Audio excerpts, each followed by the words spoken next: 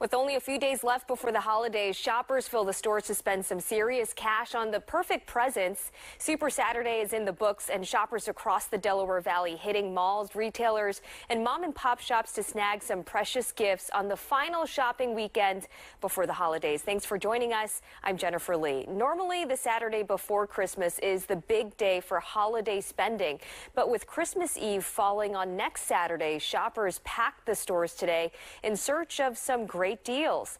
Ellen, you were with a few of them in Collingswood. That's right, Jen. It's Super Saturday, and that means people are out shopping and they are packing the malls and they are looking for dynamite deals on this last holiday shopping weekend before Christmas. Oh, it's been great. Um, a lot of traffic. In Collingswood, New Jersey, so many folks making the rounds, making sure they don't get shut out when it comes to gift giving this year. Luckily, we got parking right on the street, but it was definitely crowded. Um, but it's fun too. Everyone's like out and about and having a good time. A good time for sure on Super Saturday, one of the busiest shopping days of the year. The Retail Federation says 158 million people will shop in store and online, all in an effort to make sure they're ready for Santa. We definitely needed some last minute gifts, and we decided what better place than like local shopping to walk around, see things that we felt like would be good for the fam.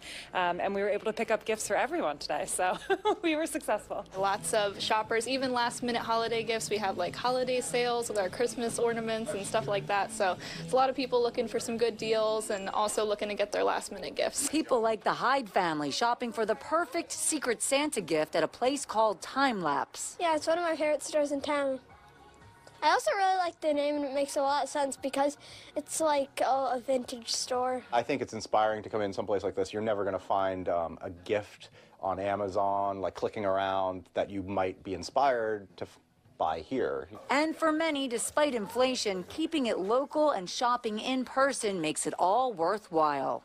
I'm sure they're going to squeeze it in. I'm sure they have some some last minute uh, items that they, that they need to pick up. Collingswood is a good area to pick up a lot of individual, small, personalized items, um, and that's why they come to Collingswood to shop and we're kind of down to the, the wire for shipping. so nothing beats in-person shopping when you get to the last minute. Nothing does beat in-person shopping, and look at this deal that I got out and about tonight. I'm so excited, I'm shaking. Ms. Pac-Man, this just shows you the great deals that were out and about tonight. Everybody was picking up some kind of deal. This is for my family. Okay, who am I kidding? It's for me. I'm very excited, and I cannot confirm nor deny that Jennifer Lee may have come down to the garage here at Fox 29 to play a game. You know, I because everybody a, loves this. There were a few of us that went down down there, and I heard someone got the high score, Jacqueline Jewell. So might have to go back down there again, yes.